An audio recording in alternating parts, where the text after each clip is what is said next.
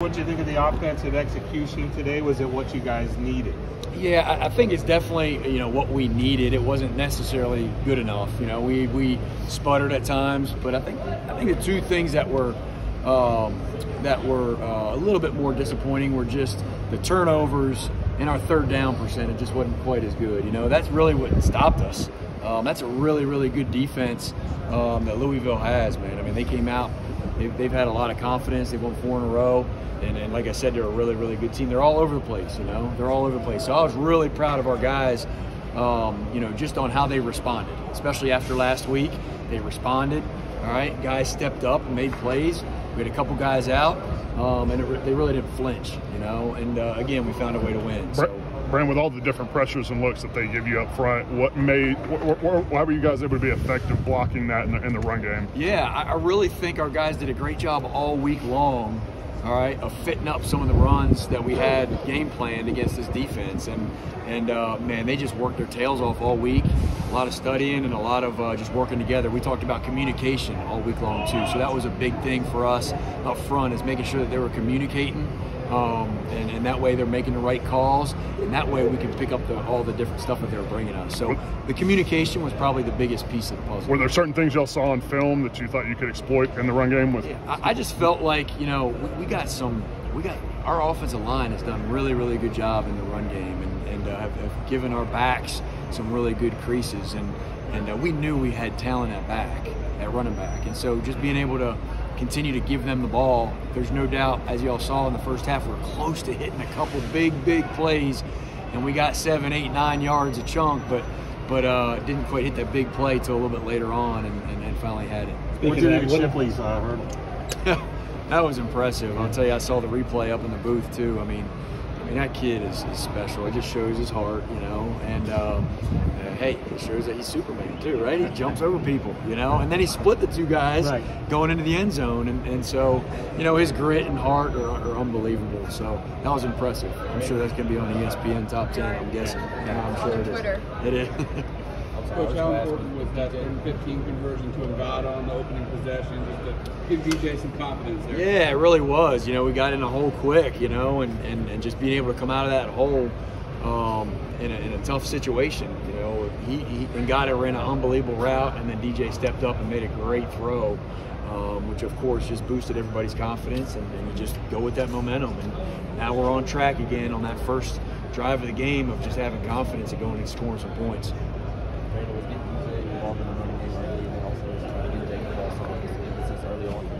Yeah, it was. It was. Um, you know, um, I felt like man, DJ has run the ball really, really well when we've had an opportunity, when we've given him an opportunity to do so. And so he did a great job of uh, helping us gain an extra hat um, by uh, by running the quarterback, and that's what you do most of the time. You gain an extra hat with the running back as a blocker. Um, and so he did a great job again tonight. I don't know how many yards or whatever, how many carries he had, but I know he had a decent amount. And, uh, and that's that's that's a big deal for an offense when you got multiple ways to run the football.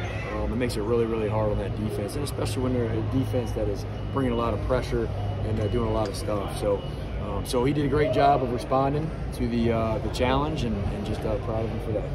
I know he missed throws, but overall, DJ was not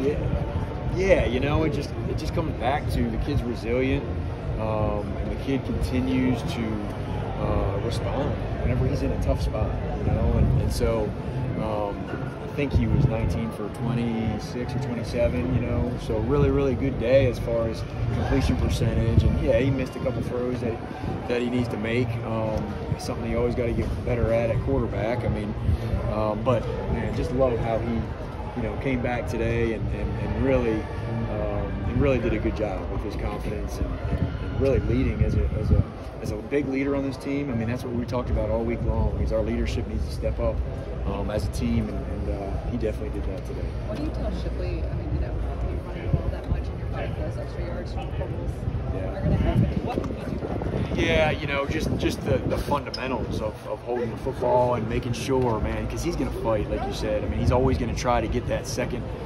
or third opportunity to, to break a tackle and and uh, just being able to hold the ball high and tight. We talk about it all the time. Squeeze it, have no air in there, and that's hard to do when you're a lot of people are after you and you're fighting for those extra yards. But you know, he knows he's got to get better at that, and that's something that he'll go to work on Monday for, I'm sure. Antonio Williams had a career day. What is it about him that just enables him to be this productive on this offense? Um, you know, I, I think he's got no fear. He's got so much confidence, um, and uh, not only just getting open, but also you know making any any throw that's that's going to his way. He's he's been able to run a lot of different routes throughout the season, and it shows that he's able to um, you know be a threat in a lot of different ways. So that's hard to defend. Um, really, really hard to defend. And he can, he continues to produce, and uh, that's that's special when you're talking about a freshman. In the screen game, is, was it, is it blocking that you feel like it's kind of keeping some of those from maybe being bigger plays in the half? Yeah, but yeah, most of the time it is. It's a guy here, a guy there, and that's a screen game for you. You know, um, you know, if, if, one guy doesn't do his job on the perimeter, I think we had one today that we had a throw to Shipley, and we missed a block on the edge. Um, you know, we're so close on a lot of them, and, and uh, we just got to do a better job of picking guys up um, uh, in space. And that's that's that's hard to do, but that's the name of the game with screens. And then, do you feel like there have been some plays where y'all have had some success where you throw those screens, set stuff up, and defenses are maybe attacking? Yeah, yeah. You know, we got to protect our screens. You know, you, that, that's what you got to do as an offense. Is you know, if you're going to throw some screens out to the perimeter, you got to do a really, really good job of protecting them with, with you know, double moves or pumps and things like that. And I know we hit, we hit one. I think we called two or three today, but we hit one of them for a big play to Jake. And um, you know, so those are things that you got to keep doing so that it helps protect those guys on the edge for blocking purposes. How important was it for this team the way last week went to get off to those good scripted plays, those first few drives? Yeah, I, I really, really wanted to emphasize our tempo offensively, and uh, and I felt like, you know, in the beginning of the game we did that, and, and tempo and getting DJ going in the run game, and, and obviously getting Shipley going um, were a priority, and um, and we're able to suc- be successful with that, you know, that first drive. So um, tempo and, and, and uh, just responding after last week, you know, trying to get them out of a rut a little bit and, and get things going. That's what we're able to do. You feel the confidence level rose tonight? Oh, absolutely. Absolutely. Anytime you come off of a loss from like last week, um, you know, I felt like the guys again responded and um, and they're not backing down at all. They're not, you know, they're just continuing to play ball. Brandon, did you want to get committed back to the run game more tonight, just after getting away from it a little bit last yeah, week? Yeah, I felt I felt like we needed to. You know, after um, like you said, after last week, you know, we know we can run the football. And uh, we just keep feeding those backs, and they're going to find ways to make big plays. And our offensive line, not just Shipley or Mafah or whoever, get better as the game goes, but our offensive line does too. And that just comes to just feeling out the plays and being able to um, you know, get more than just one hit, at, you know, one try at it. The more you do it, the more confidence you're going to have because they're going to be able to fit it up a little bit better. And so our offensive line feeds off of that too. What'd you, what did you think about Mitchell stepping in for Walker? Man, I was proud of him. I mean, I, again, we haven't seen the tape yet, but man, just to have a guy like Mitchell Mayes who's worked his tail off week in and week out, just wants opportunity, you know, and, and uh, we knew he was going to have an opportunity today. Uh, he had a really good week of practice and that kid can be really, really special. So I know he's gonna it's gonna build his confidence, and, and uh, you know, uh, just proud of him for stepping up. In the second half, what was kind of the balance and conversations about trying to get out with a win, obviously, and finish off the game, but also the aggressiveness and trying to balance that? Yeah, yeah. I mean, I think it was a it was a situation where yeah, we, we I think the first drive of the third quarter we went and scored, you know, and, and really did a good job of of responding. Again, that middle eight, I guess, you know, people talk about. You know, we scored that two-minute drive before the half, and then came out with some confidence and had that drive to score there, and then sputtered a little bit there, you know, and, and uh, I felt like we just uh, just shot ourselves in the foot a little bit, and, and, and could have been uh, maybe even a little bit more aggressive in the third quarter, but, um, but our guys responded, man. I'm, I'm, I'm proud of. What is it about third down the last three games or so?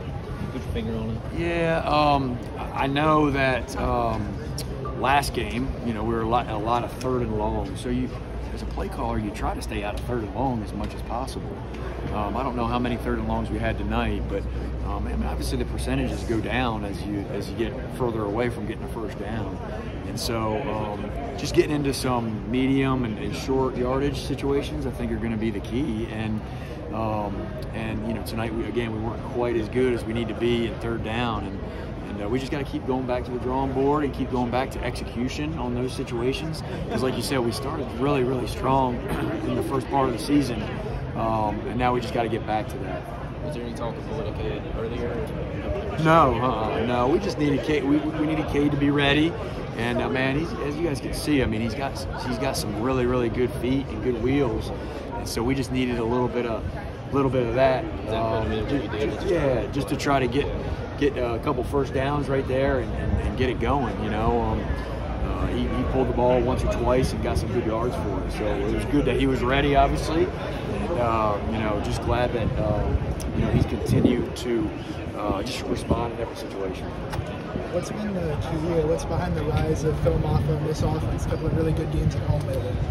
Yeah, well, Phil has been an incredible player for us, you know, and, and really he really made that next step last last spring. He was incredible. I mean, he, he had all the reps because our other two guys were were, uh, were hurt, and uh, he really grew as a player. And, and not just uh, grew as a runner, but as a pass catcher too. So you've seen him be, be able to do a lot of different things, and he's a really hard back to tackle. And so you give him any space at all, or you get him one on one, most of the time he's going to win that battle.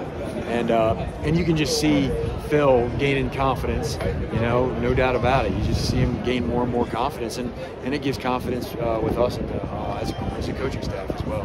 Would you say that today was redemption, just how last week went, it was kind of a day and night difference from last week in South Bend to tonight, get the division title locked in uh, yeah. as far as the offense goes? I really, yeah, I really think so. I believe that, uh, you know, this is a really good defense we just played tonight.